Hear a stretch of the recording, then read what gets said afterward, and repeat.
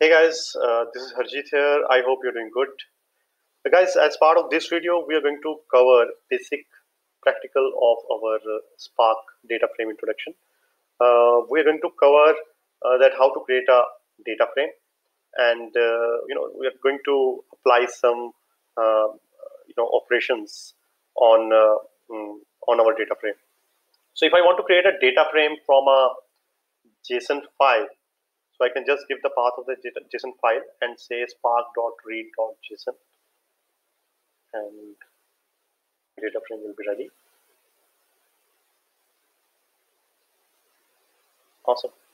So we can see the contents of our data frame like this. If I want to print the schema of my data frame,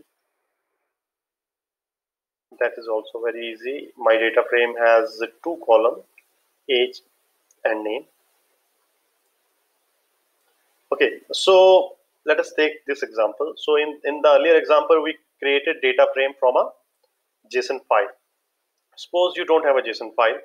Uh, you have a normal text file or uh, you have a sequence of records. So let, let's take an example of sequence of records so here, here, here I have created some sequence of records which have two columns name and age cool. Uh, then I'll create a row RDD out of my sequence of records. Let us select and see. Okay, so this is the row uh, RDD that I have for my sequence of sequence of records. Now I will create a uh, schema to you know, uh, for this data frame. So I'm going to say that, okay, name is my first column and age is my second column. So I'm passing a sequence. Sequence is just a list if you're not familiar with Scala as language. So I'm just pa passing a list of uh, columns. So name and age, both are my struct fields. And name has a type string type and age has a type integer type. And, uh, you know, uh, so I'm, I'm creating a sequence of uh, my fields and creating schema out of that. Then I'm just passing it to spark.createDataFrame function. I'm passing both the RDD, true RDD which I created and schema that I created in the last step. Once this is done, I can see the records that I have in my data frame. So this is awesome. So I can, you know, print the data. I can also register my data frame as a temp view. So here I'm saying my data frame dot create or replace temp view and this is the name of temp view.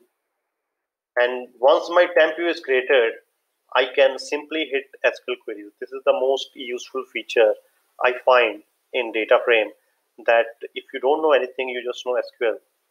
If you are used to of analyzing your data using SQL, you know, data frames are very powerful feature. You can just say spark.sql and run any kind of operation on your data frame.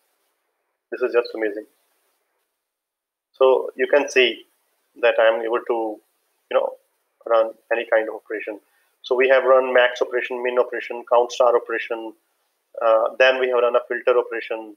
So it's all has it all has a, a SQL schema. So it becomes very easy for people who are writing bad jobs in SQL and uh, or who are uh, trying to analyze data, uh, you know, huge amount of data. So Spark, uh, you know, comes as a boon for them. They can just write a simple SQL and process the data. So this was just an introductory uh, data frame practical.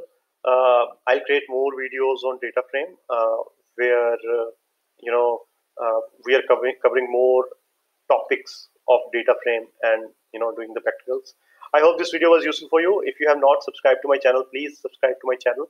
Uh, you know this will help you get updated with the latest videos that i'm creating. Thanks for watching uh, this video. This is harjeet. Uh, please keep sharing your feedback. Thank you